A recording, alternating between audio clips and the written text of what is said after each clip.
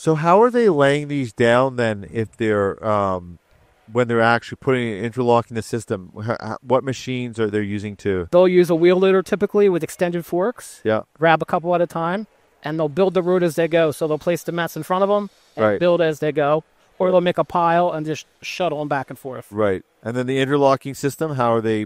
So they have typically when they're doing the installation, one guy's in the machine, the operator, and they have two guys or three guys on the ground. Yeah. One is to one man is to align the mats, the holes, Yeah, and you have a guy there with a tool to lock the mats. yeah, And that's pretty much it. And they just Yeah. keep moving that way.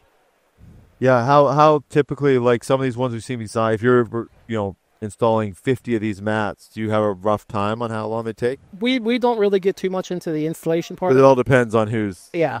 Running the Who's machine. doing the yeah. job? Yeah. Yeah. But a lot of these, our customers can do them very efficiently, safely, and uh, yeah, quickly. You're very humble about it, actually. I, I saw a note you're made and manufactured in the U.S. Yes, everything's made at our factory in Rockledge, Florida. Yep, Wow. yep, shipped and made from Rockledge, Florida. Wow. Everything. Yep, That's amazing. and globally, we ship globally.